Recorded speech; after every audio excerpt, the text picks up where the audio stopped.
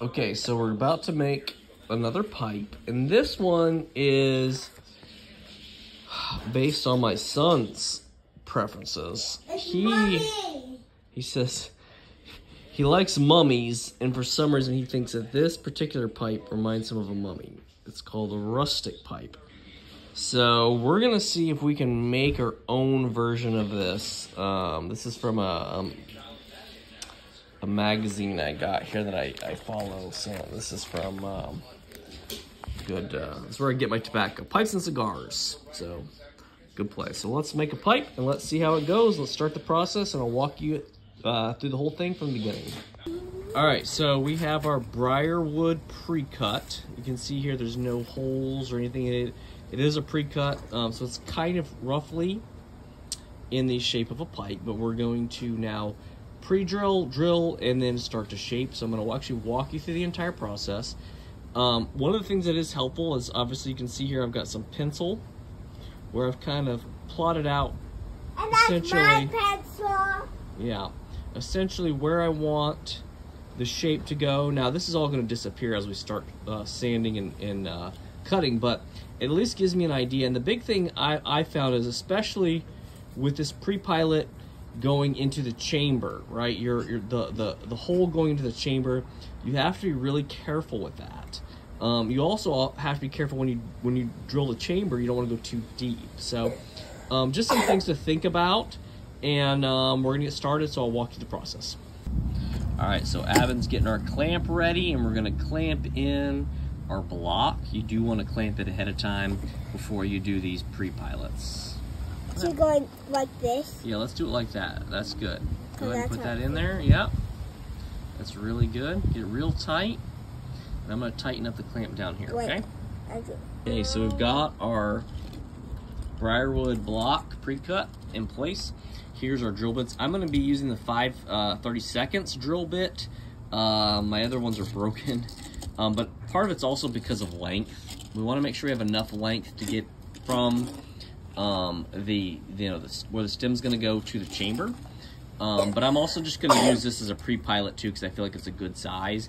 But the 9 64ths would probably be okay too.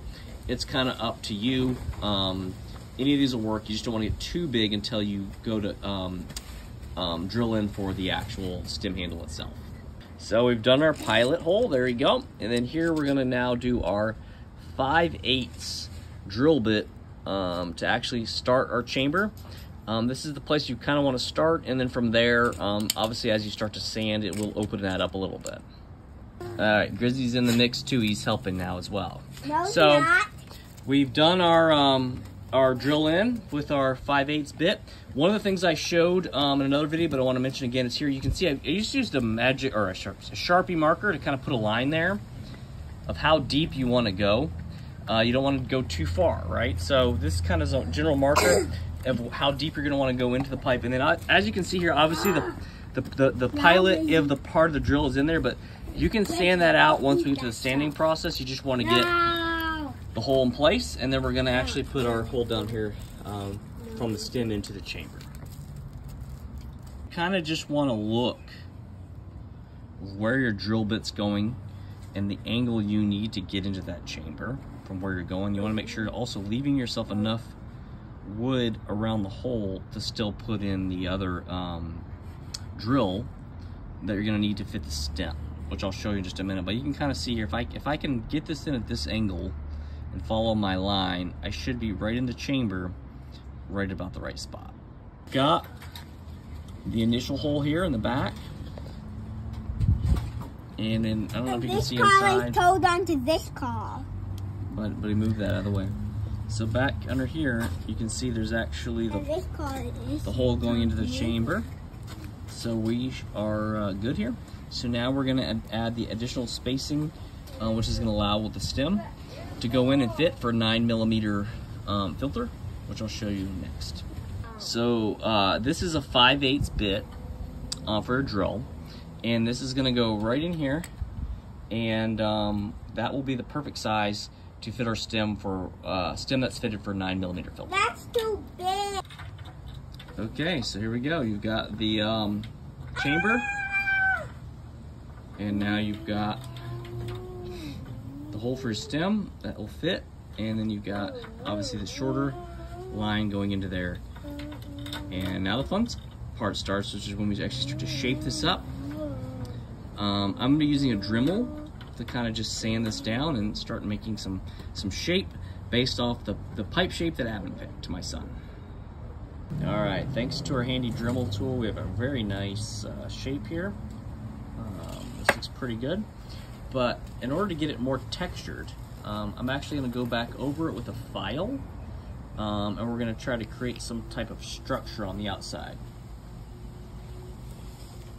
Why? Okay, so we got a series of files here that I'm just gonna use to kind of rough it up and yeah, give the pipe some texture. Look um, how then- deep it goes. I know. And then we will um, do some staining. All right, we got our, our uh, stain on here, and now you can see a little bit more how the texture on there is there. It's not exactly the same as the one that photo, but it does give it a little character. And uh, we'll let Can that dry. Make it black. No, because we have this is the stain we have, so it's going to be this color. And then um, we're going to come back with the polish, and then um, we'll go from there. Will the polish be the black stuff? No, it just makes it shinier.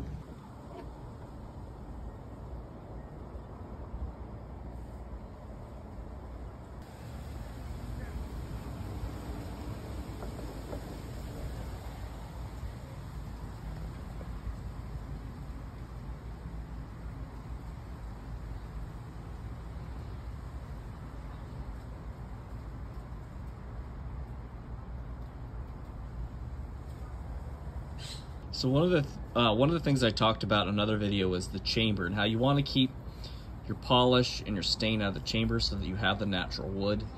Um, and as you smoke the tobacco, a, uh, kind of a charcoal carbon a layer will build up from the tobacco. Um, but if you're giving this pipe as a gift, um, or you just want to have a cleaner look, or just to burn better on the front end, there is a little trick that I'm going to show you. Um, so hang on, I'm going to teach you how to actually put a pre-coat in there that'll um, kind of make it look a little nicer and uh, help it light initially better um, for the first initial smoke. Um, so I've got a couple products here. I've got a, a bourbon, if you want to do a bourbon coating. Uh, I kind of think that's fun. Um, I'm using a high proof bourbon, uh, so I've got Wild, Wild Turkey 101. And then what I've got down here is this activated charcoal. Uh, so this is a charcoal powder. You can buy this pretty much anywhere. People use this actually for teeth whitening and things. So obviously it's food grade. Uh, it's not, not harmful. Um, I've also done this with just like a, a food grade mineral oil, which gives the, um, the wood a little bit of a more oiled texture. Um, but this time around, I'm just gonna use the, the bourbon and try that and see how that works. But I'm just gonna take a little bit of this charcoal, I'm just gonna dump it right in here. We're just gonna kind of make ourselves a little mixture. It's a combination of alcohol um, or so, some kind of, uh, you know, liquid, edible liquid. Um, I would say maybe not water, because that would probably, you know, make it a little too watered down, but a bourbon or even, like I said, uh, you know, like an oil of some kind.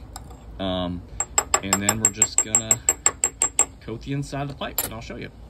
Here's the, um, the pipe. Here's the inside of it. And here's my, pull this back a little bit. There's my charcoal. I'm just going to kind of put on my finger and just kind of rub it in here like this. Get a nice little, little layer in here. Probably going to need to add a little bit more charcoal, but um, you get the idea. It's maybe a little bit runny. Probably put a little too much bourbon. What can I say? Do like the bourbon. Uh, and you're going to want to let that dry good. Um, so I'm going to put a little more charcoal in here and I'll show you the, the final product. Okay, so I did go back with that charcoal. You can see I, I made it almost a little bit more of a paste. So you want more of the charcoal than the bourbon.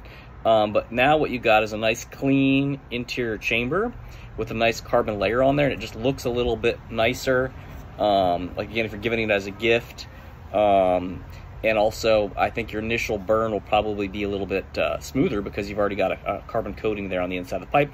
And obviously, it's all safe and natural. And uh, I imagine the bourbon will probably also give it maybe a little bit of a hint of a flavor into the wood, which is never a bad thing either. Okay, so here's our final product. And uh, it's got the stem in. You can see, hopefully in the light here, the texture that we added on it to give it more of a rustic look per Abin's request. Um, kind of a fun looking pipe. This will be number six. So um, we did pull out our cards, our cigarette cards from 100 years ago. This is actually, upside down. the kiwi, which apparently is also known as the Apteryx, according to this. Let me read that, Apteryx or kiwi. Um, also just wanted to show you that these again are the, the filters here, um, nine millimeter, and these do just go in your stem right back here. Well, see if I can, oh, hang on, let me set my phone down. Here's the pipe as cut. Here is your filter and here is your stem. You can buy these anywhere and the filter just fits right in your stem like so. And then if you use that uh, drill bit I told you, it'll go right in here perfectly. And then you've got your filter inside and you've got your stem and you've got your beautiful new rustic pipe.